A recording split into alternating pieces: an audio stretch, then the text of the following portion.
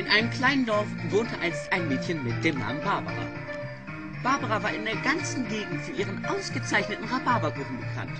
Da jeder so gerne Barbaras Rhabarberkuchen aß, nannte man sie Rhabarber-Barbara.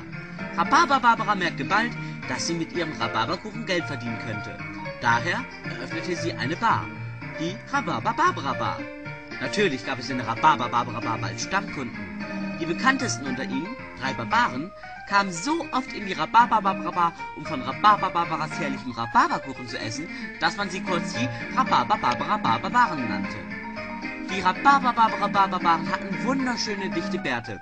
Wenn die Rhabarber-Barbara-Barbaren ihren Rhabarber-Barbara-Barbaren pflegten, gingen sie zum Barbier. Der einzige Barbier, der einen Rhabarber-Barbara-Barbaren bearbeiten konnte, wollte das natürlich betun und nannte sich Rhabarber-Barbara-Barbaren-Barbier.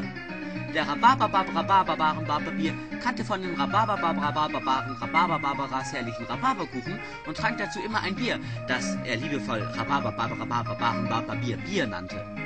Das Rhabarber-Barbara-Barbaren-Barbier Bier konnte man nur an einer ganz bestimmten Bar kaufen.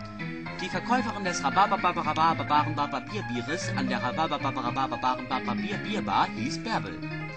Nach dem Stutzen des Rhabarber-Barbara-Barbaren-Barts geht der Rhabarber-Barbara-Barbaren-Barbier meist mit den Rhabarber-Barbara-Barbaren in die Rhabarber-Barbara-Barbaren-Barbier-Bierbar zu Rhabarber-Barbara-Barbaren-Barbier